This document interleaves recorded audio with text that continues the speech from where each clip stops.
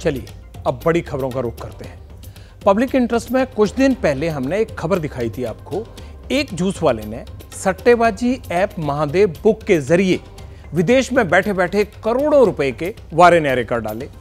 Juice वाले के शाही खर्च में बॉलीवुड स्टार्स पर खूब पैसे लुटाए गए। अब आरोप लग रहे हैं कि चुनाव में भी महादेव ऐप के ज़रिए फंडिंग की कोशिश हुई है। आज ऐसी खबर आई, जिससे छत्तीसगढ़ के सीएम भूपेश बघेल की मुश्किलें बढ़ सकती हैं। महादेव सट्टेबाजी ऐप है क्या? आप जरा इस पर गौर कीजिए। महादेव सट्टेबाजी ऐप यानी ईडी एनफोर्समेंट डायरेक्टरेट ने उसको लेकर एक बड़ा दावा किया। ईडी के मुताबिक महादेव बैटिंग ऐप के प्रमोटर्स ने मुख्यमंत्री भूपेश बघेल को फंडिंग की। सीएम भूपेश बघेल को 508 करोड़ रुपए दिए गए। कल ईडी ने भिलाई में एक छापा मारा था, जिसमें पाँच करोड़ उनतालीस लाख रुपए बरामद हुए थे।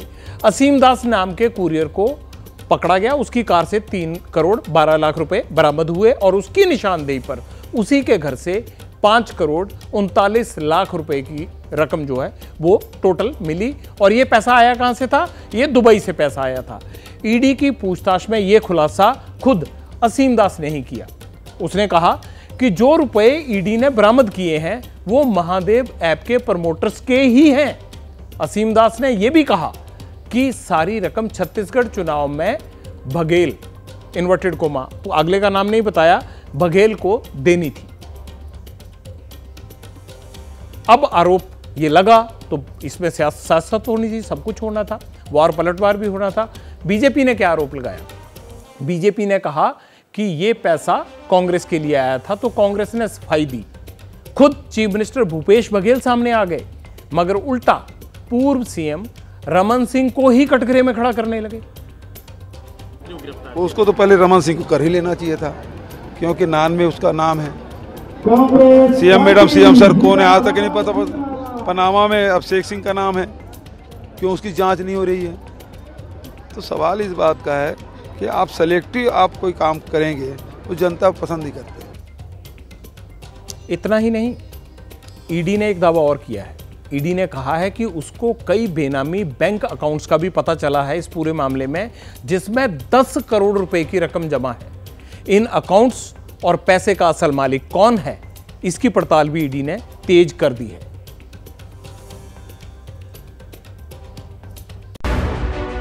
सीन छत्तीसगढ़ में भिलाई के एक होटल का है। पार्किंग में कार खड़ी है और कार के ऊपर नोटों का ढेर लगा है। पाँच पाँच सौ के कुल तीन करोड़ बारह लाख रुपए हैं। सूचना ईडी को मिली और मौके पर ही सारी रकम पकड़ी गई। बताया जा रहा है कि पैसा दुबई से भेजा गया था। छत्तीसगढ़ चुनाव में इस्तेमाल होना था, लेकिन छापेमारी में सब पकड़ा गया। बीजेपी का आरोप है कि सारा पैसा सट्टेबाजी ऐप महादेव बुक का है। और इसका कनेक्शन कांग्रेस से। है कि महादेव ऐप का नाम जैसे ही आता है ब्रिजमोहन जी ये कहा जाता है इसका पैसा चुनाव में लगने वाला था। ये कहा जाता है कि इसको कि अगर ईडी कार्रवाई कर रही है तो पैसे का फ्लो रुक जाएगा। ये महादेव ऐप है क्या और कैसे कांग्रेस इसके सहारे चुनाव लड़ना चाहती थी? ये जो महादेव ऐप है ये कांग्रेस की और भूपेश बघेल जी की अवैध कमाई का सबसे बड़ा साधन है। आखिर ये महादेव ऐप चलाने वाले भिलाई और दुर्ग से ही क्यों है? और मुख्यमंत्री जी गृह मंत्री जी कृषि मंत्री जी, जल संसाधन मंत्री जी, ये सब दुर्ग ज़िले से हैं। और मेरी जानकारी में तो एक बार महादेव ऐप के जो सरगना हैं, उनको छत्तीसगढ़ पुलिस ने पकड़ भी लिया था, बाद में उनको छोड़ दिया। ईडी के मुताबिक चुनाव में एक पार्टी की मदद के लिए ये पैसा दुबई से कोरियर के ज़रिए आया था। भेजने वाला महादेव ऐप का प्रमोटर है। भिलाई से हुई नोटों की बरामदगी के बाद महादेव ऐप सौरभ चंद्राकर और उसका जूस का कारोबार सुर्खियों में आ गया है। महादेव एक ऑनलाइन बैटिंग ऐप है। इसका किंगपिन दुबई में रहता है और इस ऐप ने करोड़ों का खेल दुनिया भर में चला रखा है। एक अनुमान के मुताबिक इस ऐप से रोज़ाना करीब 100 करोड़ रुपए का सट्टा होता है। जूस कॉर्नर सेंटर से मैं आपको ये कहानी इसलिए बता रहा हूँ क्योंकि सौरभ चंद्राकर ने जूस सेंटर चलाने से ही अपने करियर की शुरुआत की थी, लेकिन जिस लड़की को वो प्यार करता था उसकी शादी में उसने उसे 90 करोड़ रुपए का हीरा दिया है। आप इस बात का अंदाज़ा लगा सकते हैं। सौरभ चंद्राकर ने 90 करोड़ का 90 करोड़ का हीरा अपनी पत्नी को दिया है और बचपन से ही उस लड़की से वो प्यार करता था।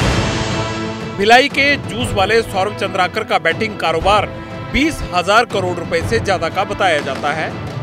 सौरभ इस धंधे को फैलाने के लिए छत्तीसगढ़ के हज़ारों युवाओं का इस्तेमाल कर रहा है। इस महादेव सट्टा ऐप की जो पहली रिपोर्ट थी, वो हिंदुस्तान टाइम्स में रितेश मिश्रा की रिपोर्ट थी। और उसमें उन्होंने इस बात का ज़िक्र किया है कि ये पाँच हज़ार करोड़ का व्यापार शुरू हुआ था, जो अब बीस हज़ार करोड़ तक पहुँच गया है और इससे भी ज़्यादा पहुँचने की बात कही जा रही है। इसके अलावा इसके अलावा चार से पाँच हज़ार ऐसे लड़के हैं जिन लड़कों को सौरभ चंद्राकर न केवल छत्तीसगढ़ से लेकर गया, बल्कि दुबई में उसने उन लोगों को सेटल कर दिया है। और कहा यह भी जाता है कि वो लड़के भी आज सौ सौ करोड़ के आसामी हैं। अब सवाल ये है कि क्या सट्टेबाजी का पैसा पार्टियों को चंदे के रूप में आ रहा है, या लोगों को बांटने के लिए दो नंबर में? ईडी के इस खुलासे से इन आरोपों को बल मिला है। भिलाई से मिले पैसे का कनेक्शन सत्तारूढ़ कांग्रेस पार्टी से बताया गया है। लेकिन छत्तीसगढ़ सीएम भूपेश बघेल के एक सलाहकार का नाम भी आया, लेकिन कांग्रेस इसे झूठ बता रही है। भारतीय जनता पार्टी और उनसे जुड़े लोग लगातार महादेव ऐप के मामले में पकड़े जा रहे हैं और इसी कड़ी में जब कल रात ईडी ने दबिश दी भिलाई में तो बाप्पा नाम के व्यक्ति के घर में दबिश दी गई, जो भारतीय जनता पार्टी के खुर्सी पार का पार्षद पीयूष मिश्रा है, उसका रोज का सहयोगी है। और ये लोग कहीं ना कहीं प्रेम प्रकाश पांडे, जो पूर्व मंत्री हैं, उनके लिए फंडिंग का अरेंजमेंट करते हुए महादेव ऐप से जुड़े लोगों के माध्यम से पैसों की उगाही कर रहे थे। मसला बड़े आर्थिक अपराध से जुड़ा है। चुनाव के चलते इसमें सियासी रंग चढ़ना लाजमी।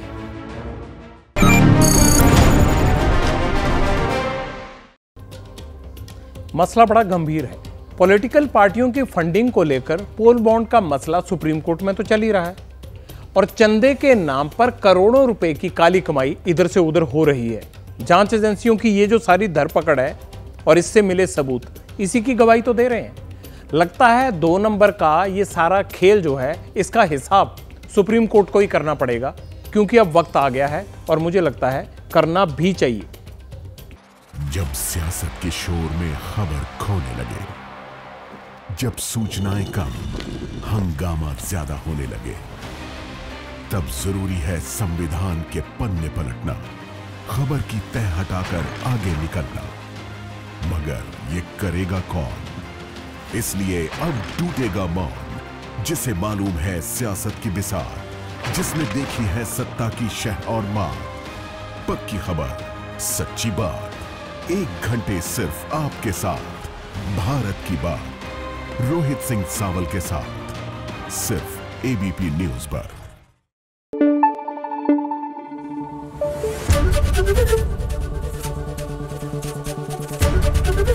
एबीपी न्यूज़ आपको रखे आगे।